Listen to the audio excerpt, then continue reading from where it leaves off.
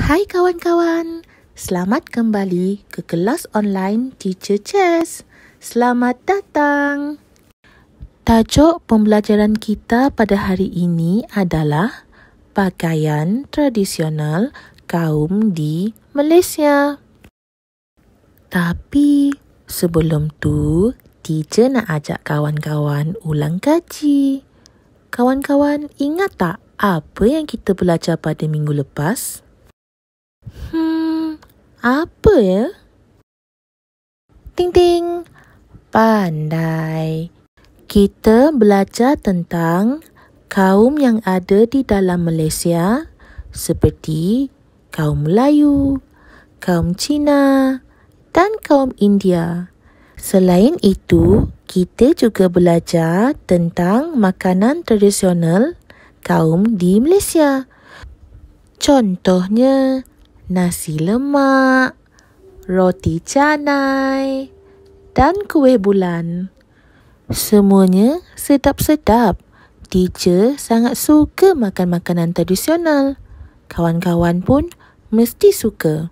Hari ini kita akan belajar tentang pakaian tradisional kaum di Malaysia.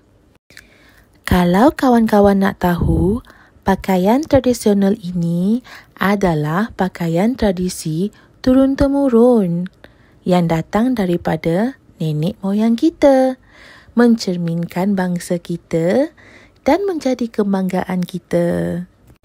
Jom kawan-kawan, kita nak tengok pakaian tradisional kaum di Malaysia. Let's go! Kawan-kawan, inilah pakaian tradisional bagi kaum Melayu. Lelaki menggunakan baju Melayu, samping dan songkok. Manakala bagi perempuan pula adalah baju kurung dan bertudung. Ini pula pakaian tradisional kaum Cina. Perempuan mengenakan cheongsam manakala lelaki mengenakan samfu. Dan ini adalah pakaian tradisional kaum India. Perempuan akan mengenakan sari dan lelaki akan mengenakan kurta. Ha, begitulah pakaian tradisional kaum di Malaysia kawan-kawan. Cantik-cantik kan? Walaupun kita hidup berbilang kaum, namun kita tetap hidup dalam aman dan harmoni. Seronoknya jadi anak Malaysia kan kawan-kawan? Teacher bangga jadi anak Malaysia. Sekarang ini, mari kita teruskan dengan aktiviti. Are you ready? Yes, yes, yes. Objektif pembelajaran adalah yang pertama, kanak-kanak dapat menggayakan pakaian tradisional di rumah.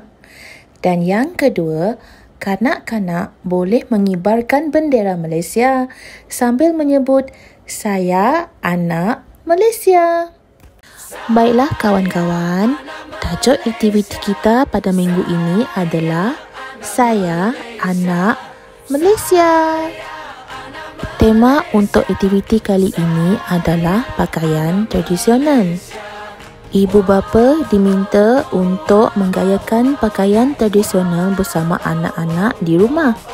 Kemudian, ibu bapa diminta untuk merakam video di mana ibu bapa dan anak-anak hendaklah mengibarkan bendera Malaysia bersama-sama sambil menyebut saya anak Malaysia.